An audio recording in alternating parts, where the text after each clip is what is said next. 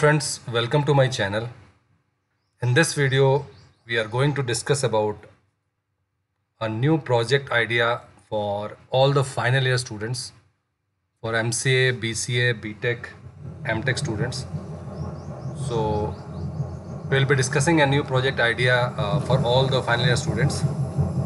So friends, if you have not subscribed to my channel, please uh, click on the subscribe button so that you can get important updates whenever a new video is uploaded on the channel. All the project idea that we discuss here can be made in any of the uh, programming languages. So it's not uh, any dependent upon any programming language. The main thing is you should be able to implement all the modules. You should be aware of what all modules are required in order to uh, complete this project. And then you can create an architecture diagram. You can create a, a software requirement specification diagram. And after that, you can start your designing, development, and then final testing. So in today's video, we'll be discussing about a new idea. Like uh, again, it's not a new idea, but uh, the project uh, that will be uh, in the medium category in which like you can uh, implement a real estate management uh, portal. So again, uh, it will be a web portal in which uh, there will be different types of modules. So the modules that you are going to create uh, will be you will be having three different types of users. One will be your buyer, another will be your seller and again the registration for both buyer and seller will be like different. So seller will have uh, their own dashboard where they can showcase their properties. They can uh, click in pictures of their property and then they can upload. Similarly buyer module where they can buy the things so they will not be able to upload anything. They can just check. And there will be an admin module. So admin will be the main person who will be handling all the buyer and seller.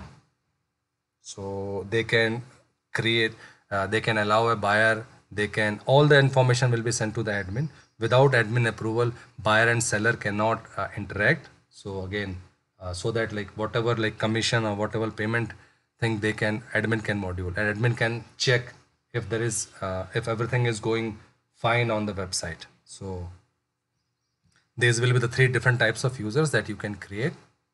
Then there will be a payment module so you can implement any online payment system based upon the requirement.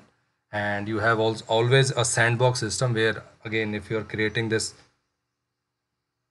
tool or portal for your final year's final semester uh, project. So in that case like there is no need to go for an online system. You can go, always go for a sandbox system. Uh, and again sandbox is uh, exactly replica of the online system where you can show the purchase you can show the payments everything that you can show in sandbox mode. Then there will be a booking module where uh, a buyer can uh, book for a particular uh, property. If they want to interact with them if they want to contact to the uh, buyer they will have a contact module and again uh, two modes of email and phone. Again the email and phone will only be visible once uh, admin approves it or once the payment is done. So for that purpose uh, there will be a security module through which it will be managed. So this will be again a good project and again as i told you uh, it can be created in any of the programming language. So whatever language you have learned or if you are planning to learn you can always go for an advanced programming language so that like it will help in your career also. But again it is not something like if you want to uh, implement it in a php it's easily it can be easily implemented. Php mysql asp.net ms sql server python with any of the uh, database postgres mysql ms sql so all those things can be done. So friends this was all uh, about a new project idea for the final year uh, students.